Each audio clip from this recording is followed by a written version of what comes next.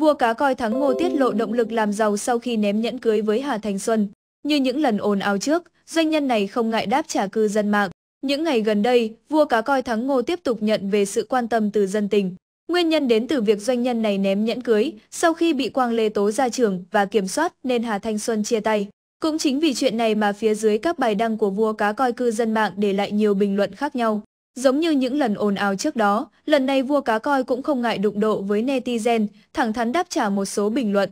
Cụ thể, khi Thắng Ngô khoe đi thăm bất động sản của mình có người thắc mắc về chuyện tài sản thừa kế. Nghe nói Thắng Ngô chỉ có một cô con gái làm sao thừa kế cho hết đất, tài sản nhiều quá. Trước câu hỏi này, doanh nhân bày tỏ quan điểm rằng mình không muốn con gái phải bận tâm đến vật chất và từ nhỏ đến giờ cháu đã có tính như vậy vì đó là gen trội của mình. Trước đó, vua cá coi từng được cho là sở hữu khối tài sản khủng như vựa cá coi 30 tỷ đồng, bộ sưu tập siêu xe đắt đỏ. Nam doanh nhân từng cho biết, anh không giàu từ nghề cá coi mà còn làm nhiều nghề như thầu xây dựng, thiết kế thi công, kinh doanh bất động sản.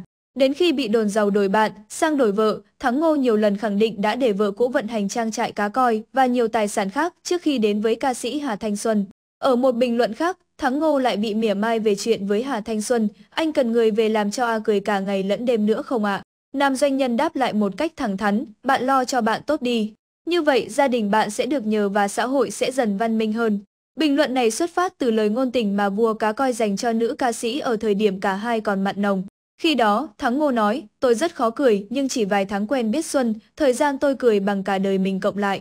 Doanh nhân Thắng Ngô, sinh năm 1975 và ca sĩ Hà Thanh Xuân, sinh năm 1988 quen nhau qua mai mối của người thân. Tháng 5 năm 2022, cặp đôi quyết định về chung một nhà sau vài tháng tìm hiểu. Kể từ khi công khai mối quan hệ, cặp đôi nhận nhiều ý kiến trái chiều từ cộng đồng mạng. Vua cá coi bị cho là bạc nghĩa với người vợ đầu còn Hà Thanh Xuân vướng nghi vấn là người thứ ba.